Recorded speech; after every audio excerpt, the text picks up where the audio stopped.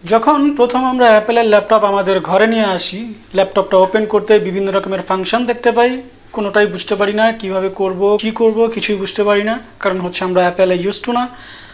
আমরা হয়তো উইন্ডোজে সবসময় ইউজ করেছি উইন্ডোজের ল্যাপটপ অথবা ডেস্কটপ এই কাজগুলো যে কাজগুলো আমরা উইন্ডোজে করি, সেই কাজগুলো ম্যাকে কীভাবে করব? তো এই জন্য আজকে ভিডিওটা তৈরি করা। আজকে আমি অ্যাপেলের পনেরোটা এমন সেটিংস দেখাবো, যেগুলো অ্যাজ এ বিগিনার হিসাবে আপনাদের অবশ্যই দেখা উচিত। কারণ এই সেটিংসগুলো জানা থাকলে আপনি যে কোনো সময় অ্যাপেলে ডাইভার্ট হতে পারবেন এবং অ্যাপেলের ফিচারগুলো সব কিছু বুঝতে পারবেন। So let's get started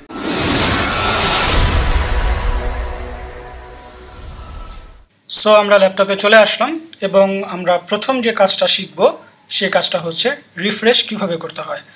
আমরা উইন্ডোজে প্রথমেই রিফ্রেশ করে থাকি, যদিও এটা তো একটা এফেক্টিভ কিছু না।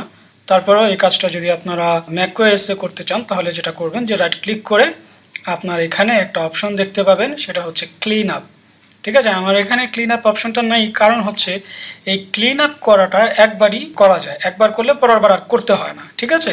সো আমরা উইন্ডোজেও কিন্তু রিফ্রেশটা একবার করলেই যথেষ্ট। বারবার করার প্রয়োজন নেই। তো এই জিনিসটা ম্যাকওয়েস ভালো বুঝে এবং এই সিস্টেমটাই করে দিয়েছে যে, আপনি শুধুমাত্র একবার ক্লিন আপ করে দিলেই আর পরবর্তীতে আর করতে হবে না। সো এই জন্য আমি একবার করে ফেলেছি। এই জন্য এখানে আমার ক্লিন আপ অপশনটা নেই। বাট আপনার ক্ষেত্রে ক্লিন আপ অপশনটা থাকবে। আপনি ক্লিন আপ করে জাস্ট ওই রিফ্রেশের কাজটা করতে পারবেন। সো দুই নম্বরে আমরা যেটা শিখব সেটা হচ্ছে আমাদের মাই কম্পিউটার কোথায়? আমরা উইন্ডোজে মাই কম্পিউটারের মধ্যে আমাদের প্রয়োজনীয় ফাইলগুলো রেখে থাকি।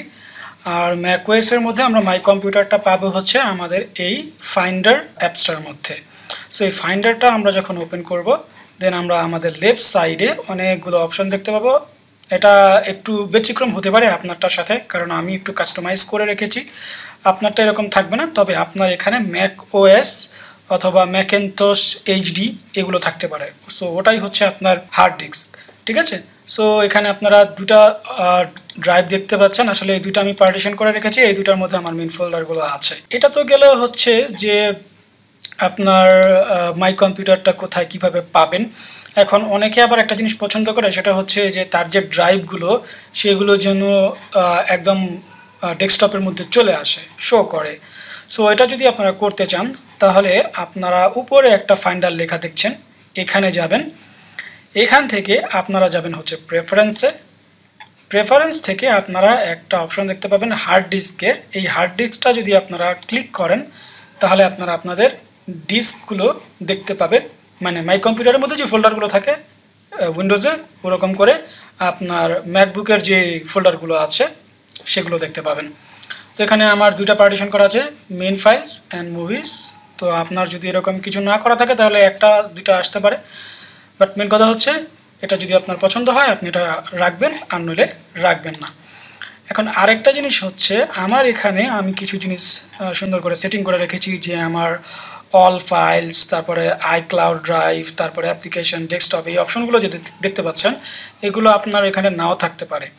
তো আপনি কীভাবে এই কাজগুলো করবেন? আপনি যেটা করবেন, এই জায়গা থেকেই, যে জায়গায় আমি আপনাদেরকে ওই হার্ড ডিস্কের জিনিসটা দেখালাম, এই জায়গা থেকেই আপনারা যাবেন হচ্ছে সাইড বারে সাইড বারে গিয়ে আপনারা এখানে যে যে অপশন ক্লিক করবেন, সেই সেই অপশন আপনারা এখানে শো করবে আপনারা এখানে দেখতে পাচ্ছেন যেমন অল মাই ফাইলস এই জিনিসটা আমার ক্লিক করা আছে, এই জন্য এখানে এটা আছে। আবার আইক্লাউড ড্রাইভ এই জিনিসটা এখানে ক্লিক করা আছে, এই জন্য এই জিনিসটা এখানে আছে। তো আমি এখানে যে যে জিনিসগুলো রাখব বা ক্লিক করব, সেই যে জিনিসগুলো আমার এখানে শো করবে। সুবিধার জন্য এটা আপনারা নিজেদের মতো কাস্টমাইজ করে নেবেন। তিন নম্বরে যে জিনিসটা আমরা শিখব, সেটা হচ্ছে আপনার ম্যাকবুক এর কনফিগারেশনটা যখন জিজ্ঞেস করা হয় কনফিগারেশন কি, আমরা বলি চার GB RAM core i three core i five বিভিন্ন ধরনের জিনিসগুলো বলে থাকি না কনফিগারেশনের সেই জিনিসগুলো আপনারা ম্যাকওয়েস এর কোথায় পাবেন? এটার জন্য আপনারা ওই যে অ্যাপেলের মতো ছোট বাটনটা দেখতে পাচ্ছেন, এখান থেকে যাবেন হচ্ছে অ্যাবাউট দিস ম্যাক এটাতে ক্লে সংক্ষেপে আপনারা হচ্ছে আপনার ম্যাকবুক ওএসের আপনার অপারেটিং সিস্টেম এবং আপনার ইন্টারনাল যেই জিনিসগুলো আছে, ঠিক আছে? কনফিগারেশন হিসাবে যেগুলো আমরা বলে থাকি, সেই জিনিসগুলো দেখতে পাবেন। যেমন আমার এখানটা দেখতে পাচ্ছেন ম্যাকবুক প্রো তেরো ইঞ্চ আর প্রসেসর মেমোরি সবগুলো এখানে আপনারা দেখতে পাচ্ছেন। এখন প্রত্যেকটার যদি আলাদা আলাদা করে বিভিন্ন জিনিস দেখতে চান, তাহলে আলাদা আলাদা অপশন আছে উপরে। যেমন ডিসপ্লেতে গেলে ডিসপ্লে সম্পর্কে বিস্তারিত এখানে জানতে পারবেন।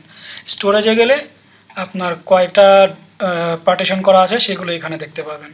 মেমোরিতে গেলে র্যাম কীভাবে আছে? ম্যাম যে আমার এখানে দেখতে পাচ্ছেন যে চার জিবি র্যাম দুই জিবি দুই জিবি করে আছে, সেটাও দেখতে পারবেন। অ্যান্ড এই জিনিসগুলো আপনারা বিভিন্ন ইনফরমেশন পেয়ে যাবেন এখান থেকে। চার নম্বরে আমরা যে জিনিসটা শিখব, সেটার নাম হচ্ছে পাসওয়ার্ড সেটিং আমাদের ম্যাকবুকে পাসওয়ার্ডটা খুবই ইম্পর্ট্যান্ট কারণ যে কোনো কাজ করতে যাবেন, সেই ইম্পর্ট্যান্ট কাজগুলো আপনার পাসওয়ার্ড চাবে বারবার আপনার পাসওয়ার্ড চাবে অনেকের কাছে ভালো লাগতে পারে, অনেকের কাছে খারাপ লাগে, কিন্তু আমার কাছে মনে হয় এটা সিকিউরিটির দিক দিয়ে এটা ভালো।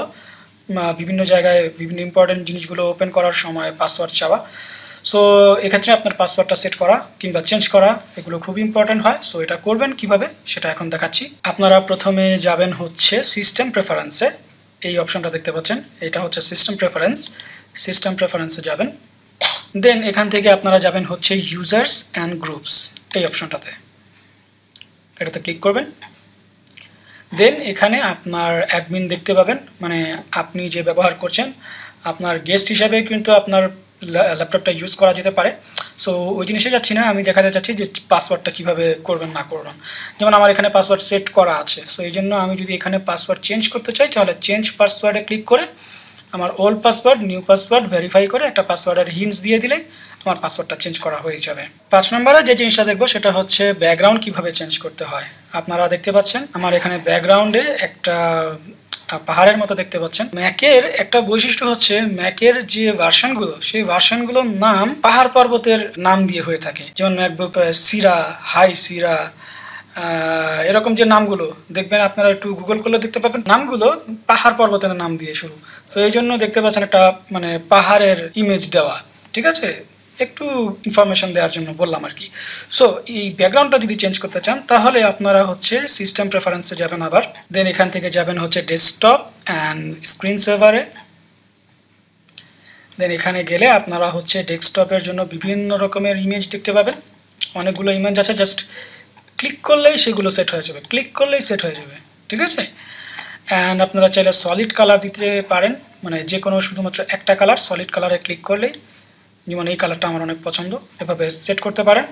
আর যদি আপনার ফটোস থাকে কোনো, এখানে তাহলে ফটোসের মধ্যে গিয়ে আপনার নিজস্ব ফটো আপনারা এখানে অ্যাড করতে পারবেন। ছয় নম্বরে যে জিনিসটা দেখাতে চাই, সেটা হচ্ছে সিকিউরিটি সেটিং সিকিউরিটি সেটিংটা খুবই ইম্পর্টেন্ট কারণ হচ্ছে বিভিন্ন রকমের জিনিস থাকে আমাদের ভাইরাসের অ্যাটাক করার মতো বিভিন্ন সিচুয়েশন থাকে। যদিও অনেকে মনে করে যে ম্যাকবুকে ভাইরাস অ্যাটাক করে না, এটা সত্যি না। ম্যাকবুকেও অ্যাটাক করতে পারে, তবে কিছু সেটিংস আপনাকে হেল্প করতে পারে। তো ওই সেটিংসগুলো আমরা এখন দেখব। তো সেটিংসগুলো করার জন্য প্রথমে অ্যাগেন সিস্টেম প্রেফারেন্সে যাবেন।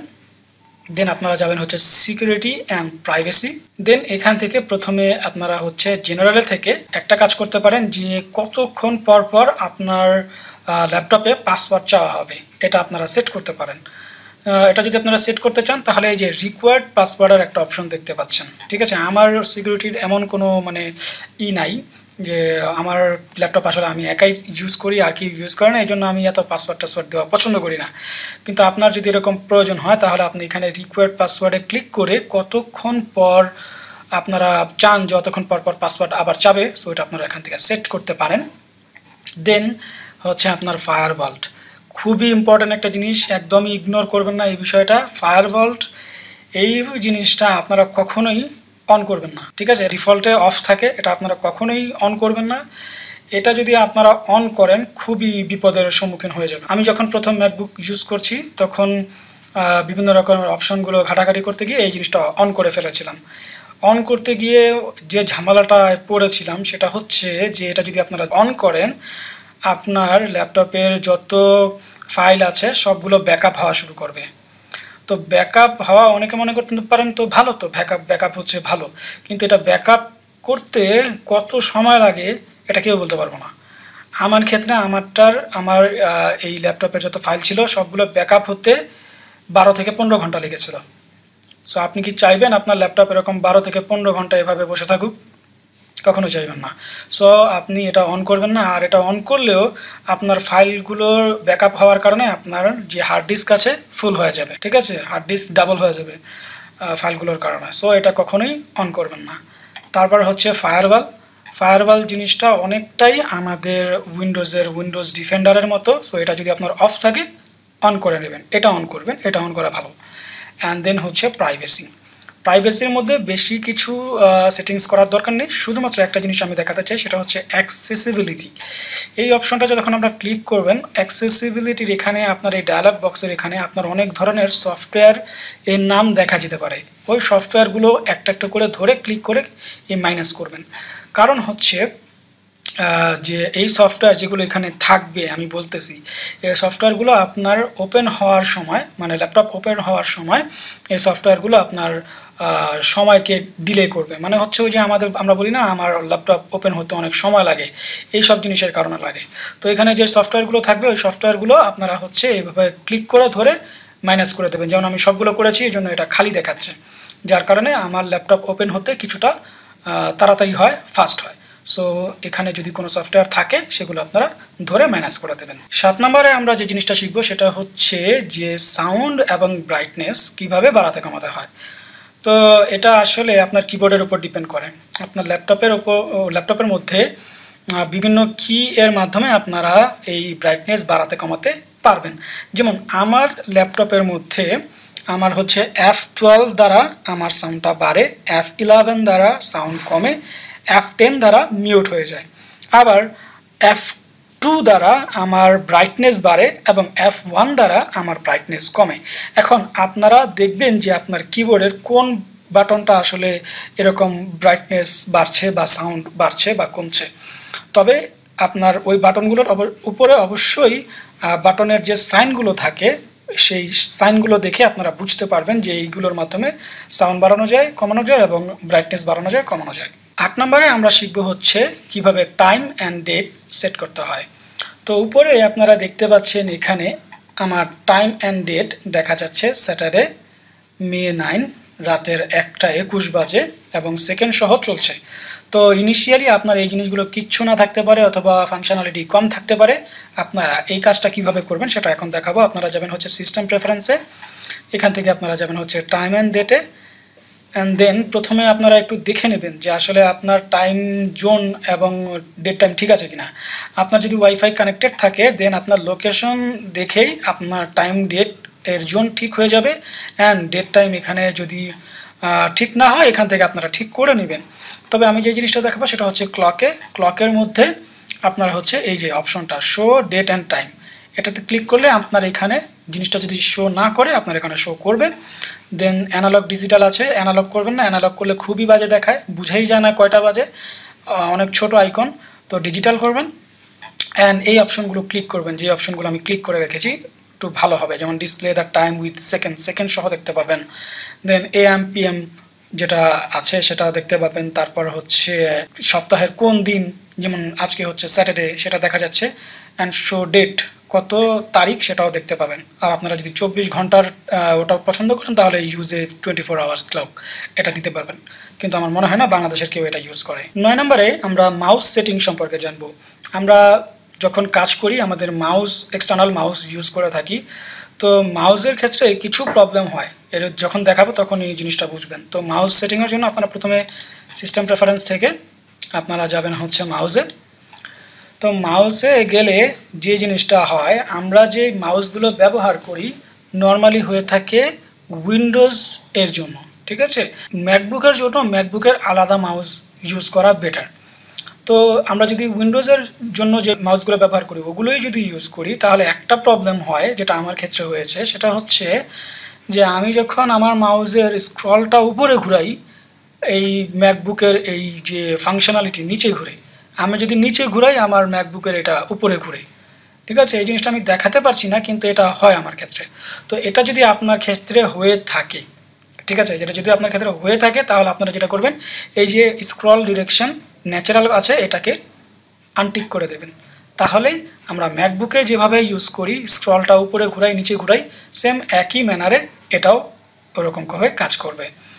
আর কিছু জিনিস যে ট্র্যাকিং স্পিড আর স্ক্রলিং স্পিড এগুলো হয়তো বুঝেন আপনারা যে কত তাড়াতাড়ি স্ক্রল হবে আর ট্র্যাকিংটা কতটা ফাস্ট হবে। যেমন আমার এটা দেখতে পাচ্ছেন অনেক ফাস্ট ঠিক আছে? কারণ ফাস্ট দিয়ে রেখেছি। আর স্ক্রলিং স্পিডটা একটু মিডিয়াম থেকে একটু বেশি দিয়েছি, কারণ অনেক বেশি স্ক্রল হয়ে যায় ফাস্ট দিয়ে দিলে আর স্লো দিয়ে দিলে একবারে নড়াচড়াই করতে চায় না। সো একটু বেটার মানে মিডিয়াম থেকে একটু বেশি দেওয়া বেটার আর একটা জিনিস, সেটা হচ্ছে ডাবল ক্লিক স্পিড এটাও খুব ইম্পর্টেন্ট ডাবল ক্লিক স্পিড হচ্ছে, অনেকে আছে যারা বিগিনার তারা মাউজের যে লেফট বাটন এটা দুইবার ক্লিক করতে একটু দেরি করে ফেলে সো এটার জন্য যেটা করব, আপনারা এই অপশনটা স্লো করে রাখবেন। যাতে করে আপনি যদি একটু স্লো মানে ধীর গতিতে যদি মাউজের লেফট বাটন দুইবার ক্লিক করেন, তাহলে আপনার ল্যাপটপ বুঝে ফেলবে যে না, ও একটু স্লো ওর জন্য আমি একটু আস্তে আস্তেই কাজটা করব। আর যদি ফাস্ট দেন তাহলে আপনাকে খুবই তাড়াতাড়ি মানে খুবই ফাস্টলি আপনাকে মাউজের লেফট বাটন চাপতে হবে দুইবার, ঠিক আছে? সো বেটার হয়, একটু স্লো দিয়ে রাখেন যাতে মানে আবার অনেক সময় দেখা যায় কিন্তু মাউজ ভালো মতো কাজ না করলে ঝামেলা হয়। সো এই জন্য স্লো দেওয়া বেটার আর প্রাইমারি মাউস বাটন যদি লেফট থাকে তো ভালো, আর যদি লেফট না থাকে লেফট করে নেবেন, কারণ আমরা ইউজ টু লেফটে দশ নম্বরে আমরা শিখব হচ্ছে trackpad setting trackpad setting মানে হচ্ছে এই যে আমরা টাচ করে মাউসটা নড়াচড়া করে নাই, এই এই, এটা হচ্ছে ট্র্যাক প্যাড তো এই ট্র্যাক প্যাডের কিছু সেটিং আছে, যেমন আপনার এক আঙ্গুল দিয়ে করলে কীভাবে হবে, দুই আঙ্গুল দিয়ে করলে কীভাবে হবে, তিন আঙ্গুল দিয়ে কি কাজ হবে, এই জিনিসগুলো আমাদের একটু শেখা দরকার। তো এই জিনিসগুলো করার জন্য আমাকে যেটা করতে হবে, প্রথমে সিস্টেম প্রেফারেন্সে যাবেন দেন ট্র্যাক প্যাডে যাবেন। তো এখানে কিছু জেনারেল জিনিস আছে যেগুলো খুবই জরুরি যদি আপনার সেটিংসে না থাকে। যেমন ট্যাপ টু ক্লিক এই জিনিসটা খুবই ইম্পর্ট্যান্ট অনেক সময় দেখবেন যে যারা নতুন ল্যাপটপে তারা যেটা হয় যে এক ক্লিক করেন কিন্তু এক ক্লিকে কাজ হয় না। আমার ক্ষেত্রে এটা হয়েছে। আমি একটা ক্লিক করি ক্লিক হয় না। আমি মনে করলাম যে আমার ট্র্যাকপ্যাড বুঝি নষ্ট হয়ে গেছে। একটা ক্লিক করি ক্লিক হয় না। কারণ কি? কারণ হচ্ছে এখানে এই যে ট্যাপ টু ক্লিক এই জিনিসটা আনটিক করা থাকে। ঠিক আছে? তো এটা যদি আপনার ক্ষেত্রে আনটিক করা থাকে, আপনি টিক করে নেবেন। অ্যান্ড এটা করার পর আপনি যখন এক ক্লিক করবেন ক্লিকটা কাজ হবে। আর নিলে কিন্তু কাজ হবে না, ঠিক আছে? তো আর এটা কতটা ফাস্ট হবে, একটু ফাস্ট দিয়ে রাখবেন, যাতে টাচ করার সাথে সাথেই কাজ হয়ে যায়। তারপরে দুই নম্বরটা হচ্ছে স্ক্রল অ্যান্ড জুম এখানে কিছু জিনিস আছে, যেমন আপনার এখানে জুমের জিনিসটা আছে। যেমন দুই আঙ্গুল দিয়ে এরকম করলে আপনারা আমার জিনিসটা জুম হবে জুম আউট হবে। আর আবার স্মার্ট জুম আছে, যে আপনার দুই আঙ্গুল দিয়ে যদি আপনি ক্লিক করেন, তাহলে এটা স্মার্টলি জুম হবে, ঠিক আছে? আর রোটেটের বিষয়টা এইভাবে আপনারা ইমেজটা দেখতে পাচ্ছেন, এভাবে ঘুরালেই রোটেট হবে। হ্যাঁ? আমাদের যে ইমেজগুলো আছে ইমেজগুলো আমরা এভাবে রোটেট করতে পারব। আর মোর গেস্টার্সের মধ্যে কিছু জিনিস আছে যেগুলো জানা থাকা ভালো। যেমন আপনার, যেমন দেখেন, আপনি যদি দুই আঙ্গুল দিয়ে এভাবে করেন, একটা পেজ এভাবে সরে যাবে। এগুলো ইউজ বেশিরভাগ আপনার ওয়েব ব্রাউজারের ক্ষেত্রে এগুলো কাজে লাগবে। যেমন আপনি আবার যদি তিন তিন আঙ্গুল দিয়ে করেন, তো পুরোটাই এরকমভাবে সরে যাবে।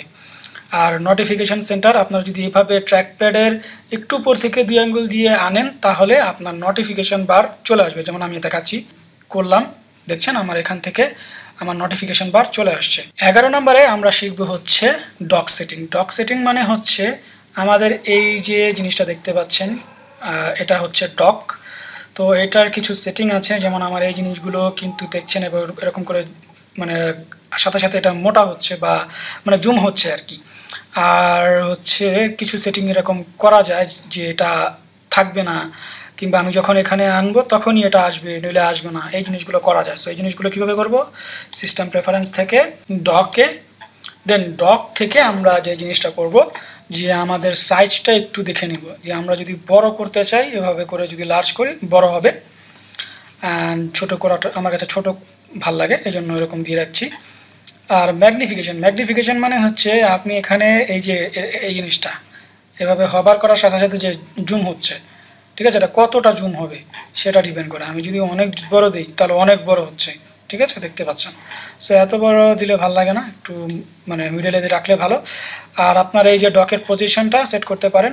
আপনি লেফটে দিলে লেফটে যাবে রাইটে গেলে রাফটে রাইটে যাবে, তবে বটমেই ভালো লাগে, ঠিক আছে? আর নিচের সেটিংগুলো অতটা ইম্পর্ট্যান্ট না তবে এর মধ্যে একটা জিনিস আমার খুবই ভালো লাগে, সেটা হচ্ছে যে automatically hide and show the dock এটা যদি আমরা ক্লিক করি, দেখবেন আমার ডকটা চলে গেছে, কিন্তু আমি যখনই মাউসটা নিয়ে নিচে আনব, আমার ডক চলে আসবে। ঠিক আছে? আবার মাউসটা যখন সরিয়ে ফেলব, আমার ডক চলে যাবে। সো এটা অনেকের পছন্দ হতে পারে, যাদের পছন্দ তারা এটা ক্লিক করে নেবে। বারো নম্বরে আমরা শিখব হচ্ছে কীভাবে অ্যাপস ইনস্টল করতে হয়। অ্যাপস ইনস্টল করা নিয়ে আমি একটু বেশি সময় নিব, কারণ অ্যাপ ইনস্টল করা নিয়ে অনেক বিষয় আছে যেটা আপনাদের অবশ্যই জানতে হবে। অ্যাপেলের যে বৈশিষ্ট্য সেটা হচ্ছে অ্যাপেল কাউকে অথেন্টিকেশন ছাড়া কোনো সফটওয়্যার অ্যাপেল ইনস্টল করা থেকে রিকমেন্ড করে না অ্যাকচুয়ালি করা যায় বাট অ্যাপেল রিকমেন্ড করে না। অ্যাপেল যেটা রিকমেন্ড করে সেটা হচ্ছে তাদের যে স্টোর আছে, সেখান থেকেই তারা অ্যাপগুলোকে ডাউনলোড করতে বলে। সো প্রথমে আমি দেখাবো কীভাবে অ্যাপেলের স্টোর থেকে আপনারা অ্যাপগুলো ডাউনলোড করবেন। এই জন্য আপনারা এখানে দেখবেন আপনার অ্যাপ স্টোর আছে, বড় হাতের এ দিয়ে অ্যাপ বুঝায়। সো এটাতে ক্লিক করবেন। দেন সাথে সাথে আপনার হচ্ছে আপনার অ্যাপগুলো এখানে শো হবে। এখানে কিছু অ্যাপ আছে ফ্রি কিছু অ্যাপ আছে হচ্ছে মানে প্রিমিয়াম টাকা দিয়ে কিনতে হবে। যেগুলো ফ্রি আছে, সেগুলো এখানে আপনারা গেট লেখা দেখবেন যে গেট গেট হ্যাঁ? আর কিছু জিনিস আছে যে মানে অ্যাপ ইনস্টল করার পর ভিতরে চালানোর সময় আপনার আবার টাকা চাইবে। সো ওইগুলোর নিচে দেখবেন আবার লেখা আছে ইন অ্যাপ পারচেসেস তার মানে হচ্ছে, এই অ্যাপটা যদি আমি ইনস্টল করি ইনস্টল হবে টাকা টাকা পয়সা লাগবে না। কিন্তু অ্যাপ যখন ইউজ করব, তখন আবার টাকা পয়সা লাগবে। মানে কিছু ট্রায়াল দেওয়া হয় না, ওরকম ট্রায়ালের ব্যবস্থা থাকবে হয়তো। কিছুদিন পর জিনিসটা টাকা যাবে আর কিছু জিনিস আছে যেগুলো মানে টাকা দিয়েই কিনতে হবে ওইটা ওইগুলোর এখানে আপনার ডলার মানে কত ডলার সেগুলো দেখতে পাবেন, কত ডলার লাগবে সেগুলো দেখতে পাবেন। আর একটা জিনিস হচ্ছে যে আপনার কি কি সফটওয়্যার আছে সেগুলো আপডেট দেওয়া দরকার, সেগুলো এখানে আপনারা আপডেটের মধ্যে দেখতে পাবেন। যেমন আমার এই সফটওয়্যারগুলো আমি চাইলে আপডেট দিতে পারি। সো আমি এখান থেকে আপডেট দিয়ে দিব। আসলে এখান থেকে ইনস্টল করে দেখানোর মতো কিছুই নাই। আমরা যেরকম অ্যান্ড্রয়েডের মধ্যে জাস্ট ক্লিক করলেই ইনস্টল হয়ে যায়, এরকম সেম জাস্ট অ্যাপ স্টোর থেকে গেটে ক্লিক করলে ইনস্টল হয়ে যাবে, এটা আমি আর দেখাচ্ছি না। তো এখন আমি যেটা দেখাবো, যে কিছু অ্যাপ থাকবে যেগুলো আমরা অ্যাপ স্টোরে পাবো না। এই সেই অ্যাপগুলো আমাদেরকে তাদের অথেন্টিক ওয়েবসাইট থেকে ইনস্টল করতে হবে। যেমন আমরা যদি গুগল ক্রোম ইনস্টল করতে চাই, তাহলে গুগল ক্রোমের যে অথেন্টিকেট সাইট আছে সেখান থেকে ইনস্টল করতে হবে। আবার ফায়ারফক্স যদি ইনস্টল করতে চাই ফায়ারফক্সের অথেন্টিকেট সাইট থেকে আমাদেরকে ইনস্টল করতে হবে। সো আমি একটা ইনস্টল করে দেখাই। ধরেন এখানে আমার একটা অ্যাপস যেমন ফায়ারফক্স নাই, তো আমি এখন ফায়ারফক্স কীভাবে ইনস্টল করতে হয় সেটা দেখাবো। সো আমি যে কোনো একটা ওয়েব ব্রাউজারে যাই আচ্ছা প্রথমে আপনাদের সাফারি থাকবে। সাফারিটা হচ্ছে এই ম্যাকওয়েসের built in web browser so Safari open করছি। তো সাফারি যখন ওপেন হবে দেন আপনার হচ্ছে আপনার ডিজায়ার্ড অ্যাপস্টার ওয়েবসাইটে আপনাকে যেতে হবে। যেমন আমি যেহেতু এখন চাচ্ছি হচ্ছে ফায়ারফক্স ইনস্টল করতে, তো আমি সিম্পলি ফায়ারফক্স ডাউনলোডে যাচ্ছি। ফায়ারফক্স ডাউনলোড লিখে সার্চ করছি। দেন ফায়ারফক্সের ওয়েবসাইটে যাচ্ছি। প্রথমটাই তাদের ওয়েবসাইট মেবি হ্যাঁ তো এখান থেকে আমরা হচ্ছে ডাউনলোড নাও ক্লিক করছি। দেন আমার ফাইলটা হচ্ছে ডাউনলোড হবে অটোমেটিক্যালি তো ডাউনলোড হলে আমার এই যে এই অপশনটা এখানে দেখতে পাবো ডাউনলোড হচ্ছে। সো আমরা একটু ওয়েট করছি। সো আপনার যখন ডাউনলোড কমপ্লিট হয়ে যাবে, তখন আপনার এই অপশন থেকে দেখতে পাবেন যে আপনার ফাইলটা, যেমন এখানে দেখতে পাচ্ছেন ফায়ারফক্স আর ভার্সন আর ম্যাকবুকের অ্যাপসগুলোর এক্সটেনশন হচ্ছে ডিএমজি যেমন আমাদের উইন্ডোজের থাকে হচ্ছে ইএক্সি তো এটাকে আমি ওপেন করছি ডাবল ক্লিক করছি। তো ডাবল ক্লিক করার সাথে সাথে এটা কাজ শুরু করে দেবে ইনস্টলেশন প্রসেস শুরু হয়ে যাবে। দেন আপনার এরকম একটা ইন্টারফেস আসবে যে ফায়ারফক্স অ্যান্ড আপনার অ্যাপের একটা ফোল্ডার দেখতে পাবেন। আপনাকে যেটা করতে হবে, এই ফায়ারফক্স অ্যাপটাকে ধরে টেনে এই ফোল্ডারের মধ্যে এনে ছেড়ে দিতে হবে। দেন আপনার যে অ্যাপসটা, সেটা ইনস্টল হওয়া শুরু হয়ে যাবে। প্রথমে কপি করে নেবে দেন কপি করে ইনস্টল করবে। তো এখানে আপনারা দেখতে পাচ্ছেন, আমার সফটওয়্যারটা কিন্তু চলে আসছে। এই সফটওয়্যারগুলো আসলে আপনারা হচ্ছে আপনার এই যে লঞ্চ প্যাড থাকে, এই লঞ্চ প্যাডে গেলেই দেখতে পাবেন। যেমন এই লঞ্চ প্যাডে ক্লিক করার সাথে সাথে কিন্তু আমার সফটওয়্যারটা দেখতে পাচ্ছি হ্যাঁ? আপনার যত সফটওয়্যার আছে, সবগুলো কিন্তু আপনার এই লঞ্চ প্যাডের এখানে থাকবে। এখান থেকে আপনারা যে কোনো সফটওয়্যার ওপেন করতে পারবেন। আর চাইলে এখান থেকে মানে কোনো সফটওয়্যার যদি আপনার ডকের মধ্যে আনতে চান জাস্ট ধরে টেনে নিয়ে এনে এখানে ছেড়ে দিলেই হয়ে যাবে। ঠিক আছে? তেরো নম্বরে আমরা যে কাজটা শিখব সেটা হচ্ছে যে অ্যাপ কীভাবে আনইনস্টল করতে হয়। যেহেতু আমরা অ্যাপ ইনস্টল করা শিখলাম আনইনস্টল করাও তো শেখা দরকার। তো আপনারা অনেকে মনে করতে পারেন যে এখানে এই লঞ্চ প্যাডের এখান থেকে তো আনইনস্টল করা যাবে। না, এখান থেকে করা যাবে না। আপনাকে আনইনস্টল করতে হলে প্রথমে ফাইন্ডারে যেতে হবে দেন এখান থেকে যেতে হবে অ্যাপ্লিকেশনসে অ্যাপ্লিকেশনসের এখানে গিয়ে আপনি যেই সফটওয়্যারটাকে আনইনস্টল করতে চান, সেটার উপরে রাইট ক্লিক করে আপনাকে করতে হবে মুভ টু ট্র্যাশ তো মুভ টু ট্র্যাশ করলে এটা আপনার হচ্ছে মুভ করে দিতে পারে। আবার অনেক সময় আপনার পাসওয়ার্ডে যেতে পারে। যেমন আপনার এখানে দেখতে পাচ্ছেন, আমার এখানে পাসওয়ার্ড চাচ্ছে। সো এরকম আপনি আপনার পাসওয়ার্ড দিয়ে আপনার সফটওয়্যারটাকে আনইনস্টল করে ফেলবেন। তবে এই ক্ষেত্রে একটা বিষয় হচ্ছে যে, এই যে প্রসেসটা এই প্রসেসের মাধ্যমে আপনার সফটওয়্যারকে একদম কমপ্লিটলি আনইনস্টল করা হয় না। মানে আমরা যেরকম উইন্ডোজের নর্মাল আনইনস্টল করি, এটাও নর্মাল আনইনস্টল হয়। ফুললি আনইনস্টল করতে গিয়ে যেরকম আমরা থার্ড পার্টি সফটওয়্যার ইউজ করি, ওরকম কিছু টেকনিক এটার মধ্যেও আছে, সেগুলো আমি দেখাতে চাচ্ছি না, আমি জাস্ট দেখাতে চাইলাম যে নর্মালি কীভাবে আমরা সফটওয়্যারকে আনইনস্টল করতে পারি। চোদ্দ নম্বরে আমরা যে জিনিসটা শিখব, সেটা হচ্ছে ফোর্স কুইট কীভাবে করে। ফোর্স কুইট হচ্ছে কিছু সফটওয়্যার আমাদের অনেক সময় এরকম অনেক বিরক্ত করে হ্যাং করে। হ্যাং করে শব্দটা শুনলে অনেকে মনে করতে পারে ম্যাকবুকেও হ্যাং করে। হ্যাঁ ম্যাকবুকেও মাঝে মাঝে হ্যাং করে। সো ম্যাকবুকেও যদি এরকম হ্যাং ট্যাং করা শুরু করে, তাহলে আপনাকে যেটা করতে হবে, আপনাকে এটাকে ফোর্স কুইট করতে হবে। তো ফোর্স কুইট করার জন্য আপনাকে যেটা করতে হবে, আপনার অ্যাপেলে যেতে হবে অ্যাপেলের এই সাইনটাতে দেন এখান থেকে আপনার একটা অপশন দেখতে পাবেন ফোর্স কুইট এখানে গেলে, এটাতে ক্লিক করলে আপনার কারেন্টলি রানিং সফটওয়্যারগুলো এখানে আপনারা দেখতে পাবেন। দেন যেই সফটওয়্যারটা বা যেই অ্যাপসটা হ্যাং করছে, সেই সফটওয়্যারটাকে আপনারা এখানে এরকম করে সিলেক্ট করে, আপনারা কুইট করে দেবেন ফোর্স কুইট ঠিক আছে? দেন আপনার সফটওয়্যারটা বন্ধ হয়ে যাবে। পনেরো নম্বর এবং ফাইনালি যে জিনিসটা আপনাদের দেখাবো, সেটা হচ্ছে কিবোর্ড সেটিং কিবোর্ডের কিছু খুবই গুরুত্বপূর্ণ সেটিং আছে। সেই জিনিসটা আপনাদের দেখা উচিত। কারণ অনেক সময় দেখা যায় যে সেটিংটা ঠিকমতো হয় না। তো প্রথমে সিস্টেম প্রেফারেন্সে যাচ্ছি। দেন এখান থেকে আমরা যাচ্ছি হচ্ছে কিবোর্ডে দেন কিবোর্ডের এখানে প্রথম যে জিনিসটা হয় যে আপনার দেখবেন, আপনার যখন ল্যাপটপ ওপেন করবেন আপনার ল্যাপটপের যে কিবোর্ডগুলো আছে কিবোর্ডগুলোর সাথে সাথে আপনার লাইটও জ্বলা থাকে। সো এই লাইট জ্বলাটা আপনি কতক্ষণ ধরে ডিলে করতে চান, কতক্ষণ পর এই লাইটটা যেন বন্ধ হয়ে যায়, সেটা চান, সেটা আপনার এখান থেকে সিলেক্ট করে নেবেন। এবং যেমন এখানে আপনারা দেখতে পাচ্ছেন, আমার এখানে তিরিশ সেকেন্ড আছে মানে তিরিশ সেকেন্ড পর আমার কিবোর্ডের লাইটটা অফ হয়ে যাবে। বেশিক্ষণ এটা দরকার নেই, কারণ হচ্ছে বেশিক্ষণ দিয়ে রাখলে আপনার চার্জ কিন্তু বেশি অপচয় হবে। দেন এখান থেকে আপনাদের আর অপশনগুলো কোনো জানা ওরকম দরকার নেই। তবে ইনপুট সোর্সেস এই জিনিসটা ইম্পর্ট্যান্ট আমার ক্ষেত্রে যে প্রবলেমটা হচ্ছে সেটা আপনাদের সাথে শেয়ার করছি, সেটা হচ্ছে যে আমি যখন ল্যাপটপটা নিয়ে আসি, আমার মানে বাটনগুলো আমি ফ্যামিলিয়ার ছিলাম না। যেমন আমি এ প্রেস করতাম, আমার জেড টাইপ হতো। আমি কিউ প্রেস করতাম, আমার অন্য কিছু টাইপ হতো। সো এই প্রবলেমটা যদি আপনাদেরও হয়ে থাকে, যদি হয়ে থাকে, তাহলে আপনাদের যেটা করতে হবে, এখান থেকে এসে আপনার এই জিনিসটা করতে হবে ইউএস ইন্টারন্যাশনাল পিসি এটা আপনারা কীভাবে পাবেন? এখানে প্লাস সাইনে গিয়ে আপনারা এখান থেকে ইংলিশের এখানে ক্লিক করে আপনার ইউএস ইন্টারন্যাশনাল পিসি এটা সিলেক্ট করলেই দেখবেন আপনার কিবোর্ডের যে বাটন যেভাবে আছে সেভাবেই কাজ করবে। যদি আপনার ক্যাজুয়ালি যদি কাজ করে, তাহলে এই সেটিংগুলো করার দরকার নেই। যদি কাজ না করে, সেই ক্ষেত্রে এটা করবেন আর আদার যে অপশনগুলো থাকবে সেগুলোকে মাইনাস করে দেবেন, কেটে দেবেন। সো এই ছিল পনেরোটা গুরুত্বপূর্ণ সেটিংস যেটা ম্যাকবুক ইউজারদের অবশ্যই অবশ্যই জানা জরুরি। প্রথম দিকে যদি বিগানার হয়ে থাকেন, তো ভিডিওটা আপনাদের কেমন লাগল? যদি ভালো লাগে থাকে, তাহলে অবশ্যই কমেন্ট বক্সে জানাবেন। আর সবশেষে বলব, সবাই ভালো থাকবেন, সবাই সুস্থ থাকবেন। আল্লাহ হাফেজ।